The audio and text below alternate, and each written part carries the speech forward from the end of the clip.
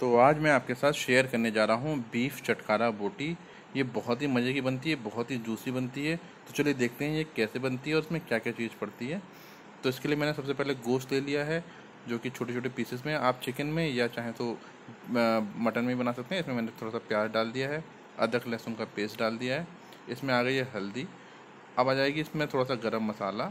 गर्म मसाले के बाद हम इसमें डालेंगे थोड़ा सा धनिया पाउडर। धनिया पाउडर के बाद हम इसमें ऐड करेंगे लाल मिर्च पाउडर। नमक आप अपने टेस्ट के अकॉर्डिंग डाल सकते हैं। ये सारी चीज़ें डालने के बाद हम इसमें डालेंगे पानी। पानी से जो है हमारा जो गोश्त है वो अच्छे से गल जाएगा। पानी आप करीब आधा लीटर ले लीजिएगा। बाकी या फिर अपने हिसाब से भी आप ले सकते हैं। इसको अच्छे से मिक्स कर लीजिएगा। अब हम इसमें ऐड करेंगे थोड़ा सा सोया सॉस सोया सॉस से एक बहुत ही अच्छा सा टेंगी फ्लेवर आता है।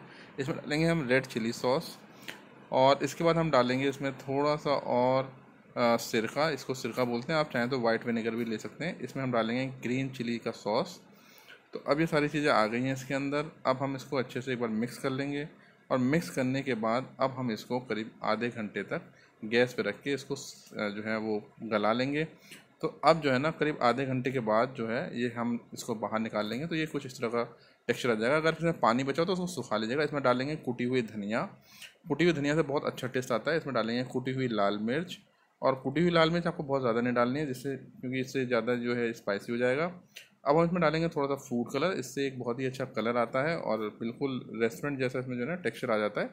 अब हम इसमें ऐड करेंगे थोड़ा सा कॉर्नफ्लावर कॉर्नफ्लावर आप एक से दो चम्मच इसमें डालिएगा जिससे क्रिस्पीनेस जो है ना वो आ जाएगी।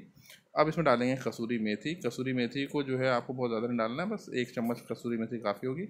अब इसको अच्छे से मिक्स कर लेंगे। अब क्योंकि ये बहुत ज़्यादा गर्म होगा तो इसको जो है हम चम्मच से मिक्स कर लेंगे इस तरह से, अच्छे से मिक्स करने के बाद। अब जो है ये बिल्कुल रेडी है, अब आप इसको पाँच से दस मिनट के लिए ऐसे रख दीजिए। अब हम फ्राई पैन में तेल को गर्म कर लेंगे। तेल जब अच्छे से गर्म हो जाए तो आप इन बोटियों को उसमें धीरे धीरे करके डाल दीजिए। तेल आपका गर्म होना चाहिए। सारी बोटियों को आप इसमें डाल लीजिए अच्छे से और डालने के बाद इसको अच्छे से आप एक बार इधर से फ्राई होने देंगे, एक बार इसको पलट के हम जो है अच्छे से फ्राई कर लेंगे। और जब चारों तरफ़ से अच्छे से फ्राई हो जाए तो इसको बस हम बाहर निकाल लेंगे और जो है इसके ऊपर आप चाहें तो चाट मसाला भी डाल सकते हैं या फिर नींबू भी डाल सकते हैं। वैसे ये अपने आप में ही बहुत चटपटी बनती है। तो ये हमारी मज़ेदार सी बीफ चटकारा बोटी बिल्कुल बन के रेडी है। बहुत ही जूसी होती है, बहुत ही सॉफ्ट होती है। इसको ज़रूर बनाइएगा। अगर आपको वीडियो पसंद आई हो तो वीडियो को लाइक ज़रूर करिएगा, चैनल को सब्सक्राइब ज़रूर करिएगा।